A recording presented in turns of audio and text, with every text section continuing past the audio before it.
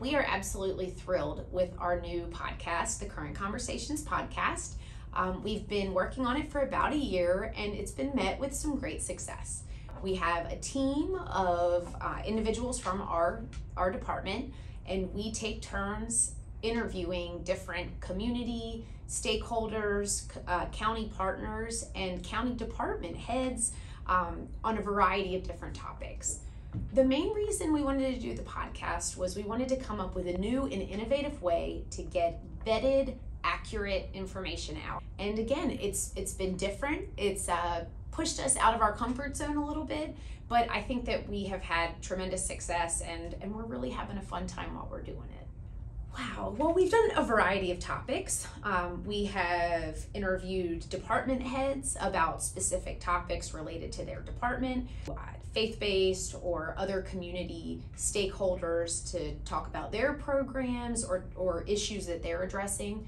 Um, there was one podcast where we interviewed our sheriff, and he talked to us um, a lot about you know, obviously being the sheriff of our locality, but about finding um, finding deputies and finding staff. He talked about national challenges and issues, local issues. He talked about his life and how he wound up going into um, this career of serving, uh, serving the public, and and that was a really really interesting one. Broadband.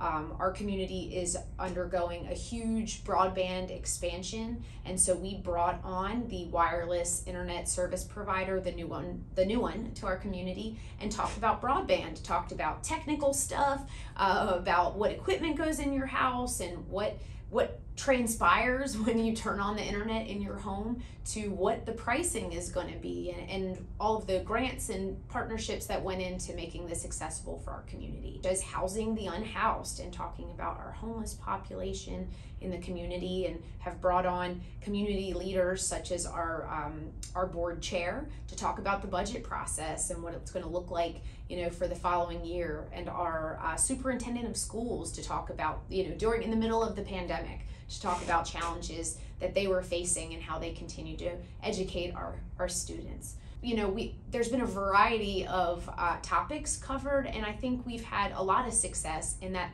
there are varied, and um, there's a little bit of something for everybody. Well, you know, we're new here, right? We've been here about a year. Um, I think that we will probably up the amount that we're doing it. I think we're getting faster on editing, we're getting a little bit tighter as a team, picking topics. Um, and so I would like to see us grow the amount of uh, episodes. Right now, we're putting out about one a month, and it's a lot of work, but we're getting faster. And I think that that's that's definitely one of our goals um, is to have more topics and to have it more frequently. One of my favorite aspects of the podcast is how, you know, in local government, there's some departments that are just more public facing. Parks, Rec, and Tourism. You know, your your children are playing on their soccer team and you're attending their yoga classes. There's the library. You're going in with your family. You're renting and checking out books. You're going to their programs. These are incredible pillars of our local community.